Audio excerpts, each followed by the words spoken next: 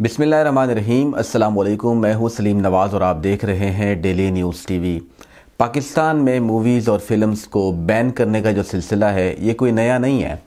बल्कि अगर मैं आपको हिस्ट्री में लेकर जाता हूँ तो पाकिस्तान में बनने वाली एक मूवी, जिसका नाम था जागो हुआ सवेरा 1959 में इस मूवी को भी बैन किया गया। इस मूवी के अंदर एक्चुअली था क्या? ये पहली ऐसी मूवी थी जिसको पाकिस्तान में बैन किया गया। पाकिस्तान पर पाबंदी लगाई गई कि पाकिस्तान में किसी सिनेमा घर में नहीं दिखाई जा सकती। उस दौर में दीगर प्लेटफॉर्म्स नहीं हुआ करते थे, जैसे नेटफ्लिक्स या यूट्यूब या फेसबुक तो ज़ाहिर सी बात है, सिनेमा पर ही दिखाई जाती थी या कैसेट पर। तो इस मूवी पर बैन लगाया गया। बैन लगाने की वजह यह थी कि इस मूवी में एक्चुअली ये दिखाया गया, क्योंकि उस वक़्त बांग्लादेश भी पाकिस्तान का हिस्सा था। तो ईस्ट और वेस्ट पाकिस्तान के दरमियान में जो सियासत थी और पाकिस्तान के जो सियासतदान थे या उस वक़्त के हुक्मरान थे, उनका रवैया बंगालियों के साथ कैसा है? और यहाँ पर मौजूद पाकिस्तानियों के साथ कैसा है? तो इस चीज़ को कंपेयर करने के लिए ये मूवी बनाई गई तो उसमें बड़ी हकीकत दिखाई गई थी। खैर, इस मूवी को आलमी सतह पर अवार्ड भी मिला, लेकिन पाकिस्तान में गवर्नमेंट के प्रेशर के बाद जो है इस मूवी को बैन किया गया। आज से कुछ अरसा पहले एक और मूवी थी जिसका नाम था ज़िंदगी तमाशा और फिर उस फ़िल्म का एक बहुत बड़ा तमाशा बना दिया गया। मतलब उस फ़िल्म के डायरेक्टर या प्रोड्यूसर को भी इतनी एक्सपेक्टेशंस या उम्मीद नहीं थी कि यार मेरी फ़िल्म कोई इतनी वायरल होगी और इतने इसके बारे में लोग गुफ्तु करेंगे। जस्ट उसके पास एक आइडिया था और गालबन मतलब मुबैना तौर पर यह बताया गया कि उस मूवी मूवी में एक्चुअली ये था ज़िंदगी तमाशा में कि मदारस में होने वाले जो वाक़ात जिसकी वीडियोस अब मौजूद है रियल टाइम की वीडियोस मौजूद है, उसके ऊपर मूवी बनाई गई थी।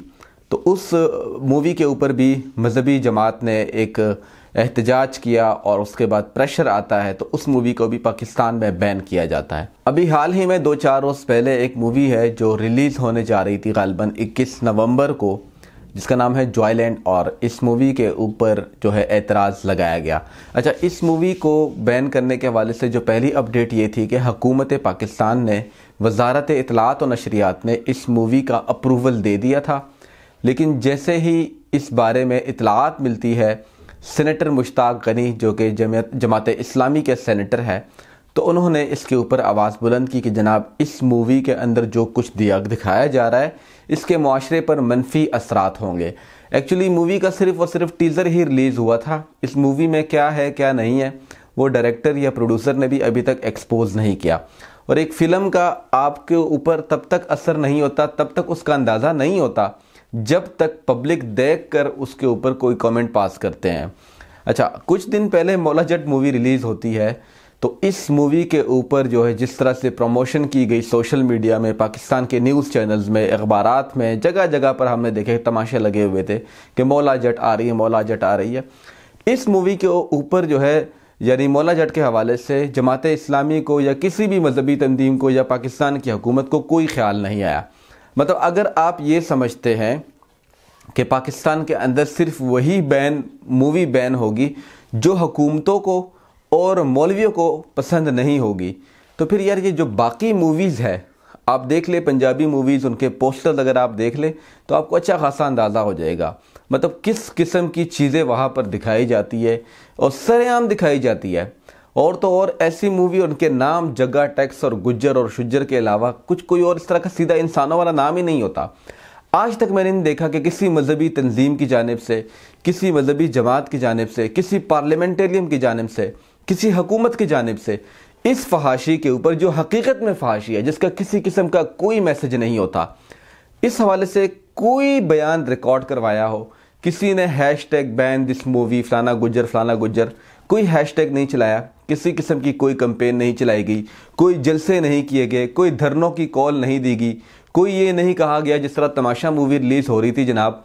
एक मजहबी तंजीम की जानब से कहा गया कि अगर ज़िंदगी तमाशा को चलाया गया स्क्रीन के ऊपर तो हम मुल्क का तमाशा बना देंगे। ये उस मजहबी तंजीम के जो रहनुमा थे लीडर थे चेयरपर्सन थे, ये उनके अल्फाज में आपको बता रहा हूँ।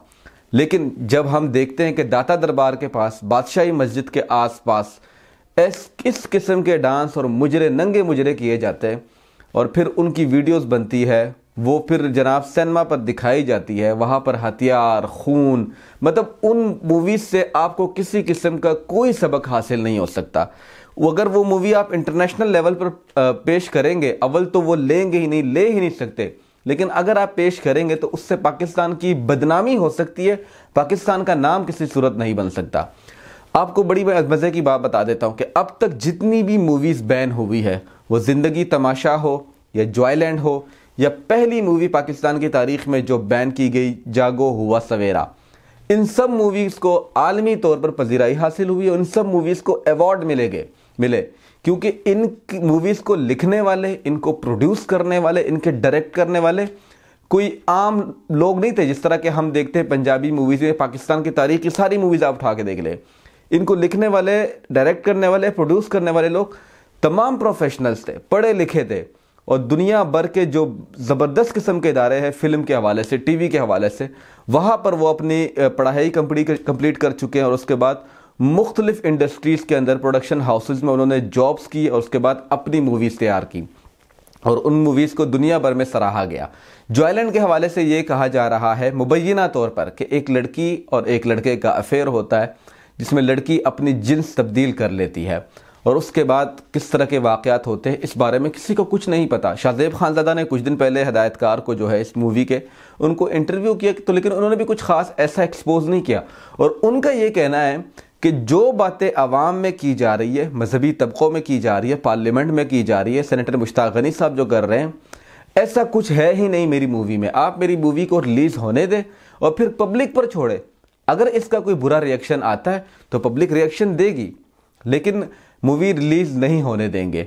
ये मतलब हमारी रियासत की, हमारे इदारों की और हमारी हुकूमत की और हमारे मजहबी जमातों की पॉलिसीज़ है कि मूवी इनकी मर्ज़ी से बने तो वो हलाल होगी, उसका पता नहीं सवाब मिलता है या नहीं मिलता, ये मुझे नहीं पता।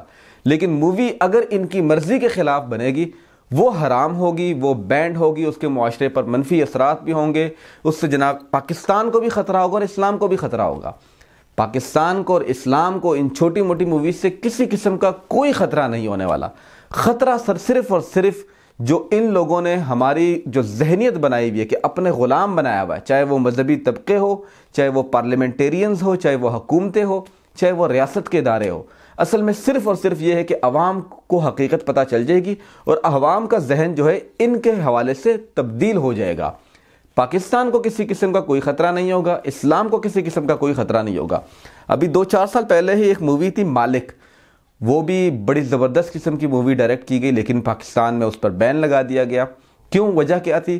कि पाकिस्तान के रियासती इदारों की जो पॉलिसीज़ है, पाकिस्तान के रियासती इदारे जो पॉलिटिक्स में किस तरह से इन्वॉल्व होते हैं इन्वॉल्व करते हैं इन्वॉल्वमेंट करते हैं, उस चीज़ को उसमें एक्सपोज किया गया है।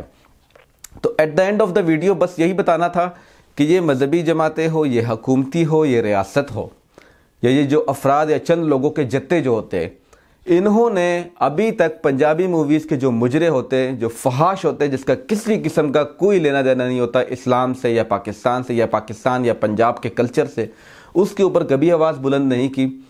लेकिन जब भी कोई पढ़ा लिखा बंदा आता है, वो पाकिस्तान के असली मसाइल को उजागर करने की कोशिश करता है उसके ऊपर पाबंदी लगा दी जाती है। ये कहकर के जनाब, इसके माशरे पर मनफी असरात होंगे और इससे इस्लाम को और पाकिस्तान को ख़तरा है। पाकिस्तान को भी ख़तरा नहीं है, इस्लाम को भी ख़तरा नहीं है, ना मुआशरे को ख़तरा है। ख़तरा सिर्फ़ और सिर्फ़ इन लोगों के है जो अपने आप को इलीट समझते हैं, जिन्होंने अवाम को हर तरह से घेर के रखा हुआ है। चाहे वो मज़हब के हवाले से हो, चाहे वो जनाब पाकिस्तानियत के हवाले से हो हुब्बुलवतनी के हवाले से हो, ग़ुलाम बना के रखा हुआ है। ताकि लोगों को पता ना चल सके कि हमारी हकीकत क्या है, हमारे मुल्क के असल मसाइल क्या है। देखते हैं इस मूवी में आगे क्या अपडेट आती है। अगर कोई बड़ी अपडेट आई तो ज़रूर आपके साथ शेयर करेंगे। अब तक के लिए बस इतना ही। मुझे दीजिए इजाज़त। अल्लाह हाफिज़। अपना बहुत ख्याल रखिए।